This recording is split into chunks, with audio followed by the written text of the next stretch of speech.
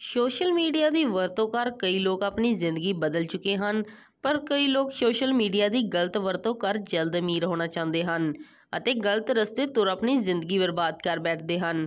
ਅਜਿਹਾ ਹੀ ਇੱਕ ਮਾਮਲਾ ਗੁਰਦਾਸਪੁਰ ਦੇ ਕਸਬਾ ਧਾਰੀਵਾਲ ਤੋਂ ਸਾਹਮਣੇ ਆਇਆ ਹੈ।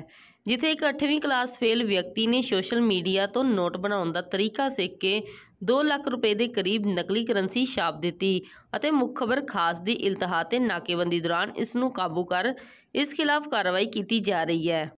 ਸਾਡੇ ਮਾਨਯੋਗ ਸ੍ਰੀ ਦੀਪ ਕਲੌਰੀ ਜੀ ਆਈਪੀਐਸ ਐਸਐਸਪੀ ਸਾਹਿਬ, ਗੁਰਦਾਸਪੁਰ ਸਾਹਿਬ ਦੇ ਦਿਸ਼ਾ ਨਿਰਦੇਸ਼ਾਂ ਅਨੁਸਾਰ ਜਿਹੜੀ ਅਸੀਂ ਇੱਕ ਮਾੜੇ ਲੋਕਾਂ ਨੂੰ ਕਾਬੂ ਕਰਨ ਲਈ ਮੁਹਿੰਮ ਚਲਾਈ ਸੀ, ਉਹਦੇ ਤਹਿਤ ਸਾਡੇ ਇੰਚਾਰਜ ਨਾਰਕੋਟਿਕ ਸੈੱਲ ਅਤੇ ਉਹਨਾਂ ਦੀ ਟੀਮ ਅਤੇ ਨਾਲ ਧਾਰਵਾਲੀ ਪੁਲਿਸ ਨੇ ਜਿਹੜਾ ਨਾਕਾ ਲਾਇਆ ਸੀ ਪਸਨਾਵਾਲ ਦੇ ਬਾਹਰ ਮੋੜ ਤੇ, ਉੱਥੇ ਇੱਕ ਬੰਦਾ ਬਲਦੇਵ ਸਿੰਘ, ਜਿਹੜਾ ਸਾਨੂੰ ਮੁਖਬਰ ਖਾਸ ਨੇ ਇਨਫੋਰਮੇਸ਼ਨ ਦਿੱਤੀ ਵੀ ਇਹਦੇ ਕੋਲ ਜਾਲੀ ਕਰੰਸੀ ਹੈਗੀ ਆ ਅਤੇ ਜੇ ਇਹਦੀ ਤਲਾਸ਼ੀ ਕਰੋਗੇ ਤਾਂ ਬਰਾਮਦ ਹੋ ਸਕਦੀ ਹੈ। ਜੋ ਸਾਡੀ ਟੀਮ ਨੇ ਜਿਹੜੀ ਇਹਦੀ ਤਲਾਸ਼ੀ ਕੀਤੀ ਅਤੇ ਇਹਦੀ ਜੇਬ ਦੇ ਵਿੱਚੋਂ ਜਿਹੜਾ ਸਾਨੂੰ ਹੈਗਾ 29800 ਰੁਪਏ 100-100 ਦੇ ਨੋਟ ਜਿਹੜੇ ਜਾਲੀ ਕਰੰਸੀ ਮਿਲੀ, ਉਦੋਂ ਬਾਅਦ ਅਸੀਂ ਇਹਦੇ ਖਿਲਾਫ ਮੁਕੱਦਮਾ ਦਰਜ ਕਰਕੇ ਤੇ ਜਿਹੜਾ ਹੈਗਾ ਇਹਨੂੰ ਇੰਟਰੋਗੇਸ਼ਨ ਕੀਤੀ, ਪੁੱਛਗਿੱਛ ਕੀਤੀ, ਜਿਹਦੇ ਦੌਰਾਨ ਸਾਨੂੰ ਜਿਹੜਾ ਟੋਟਲ ਇਹਦੇ ਕੋਲੋਂ 194300 ਰੁਪਏ ਜਿਹੜਾ ਉਹ ਬਰਾਮਦ ਹੋਏ ਨੇ। ਇਹਦੇ ਵਿੱਚ 2-2000 ਦੇ 73 ਨੋਟ ਨੇ ਤੇ ਜਿਹੜੇ 500 ਦੇ ਉਹ 37 ਨੋਟ ਨੇ ਜੀ। ਤੇ ਇਹ ਜਿਹੜਾ ਬੰਦਾ ਆ, ਪੁੱਛਗਿੱਛ 'ਚ ਇਹ ਵੀ ਗੱਲ ਸਾਹਮਣੇ ਆਈ ਵੀ ਆਪਣੇ ਘਰ ਦੇ ਵਿੱਚ ਹੀ ਜਾਲੀ ਕਰੰਸੀ ਤਿਆਰ ਕਰਦਾ ਹੈ, ਪ੍ਰਿੰਟਰ ਤੋਂ ਤੇ ਸਕੈਨਰ ਤੋਂ। ਉਹ ਅਸੀਂ ਪ੍ਰਿੰਟਰ ਜਿਹੜਾ ਕੰਮ ਸਕੈਨਰ ਹੈ ਉਹ ਵੀ ਅਸੀਂ ਕਾਬੂ ਕਬਜ਼ੇ 'ਚ ਲੈ ਲਿਆ। ਚਾਰ ਸਾਈਆਂ ਲੈ ਲਈਆਂ, ਇੱਕ ਟੇਪ ਲੈ ਲਈ, ਚਿੱਟੇ ਕਾਗਜ਼ ਲੈ ਲਏ, ਕੈਂਚੀ ਲੈ ਲਈ ਜਿਹਦੇ ਨਾਲ ਕੱਟਦਾ ਸੀ, ਇੱਕ ਫੁੱਟਾ ਲੈ ਲਿਆ ਤੇ ਇੱਕ ਕਟਰ ਲੈ ਲਿਆ ਸੀ ਬਰਾਮਦ ਕਰ ਲਿਆ। ਇਹ ਬੰਦਾ ਜੀ 8ਵੀਂ ਫੇਲ ਆ ਤੇ ਉਸ ਤਰ੍ਹਾਂ ਬਹੁਤ ਗਰੀਬ ਆ। ਪਿੰਡ 'ਚੋਂ ਤਕਰੀਬਨ ਸਭ ਤੋਂ ਗਰੀਬ ਇਹੋ ਹੀ ਆ।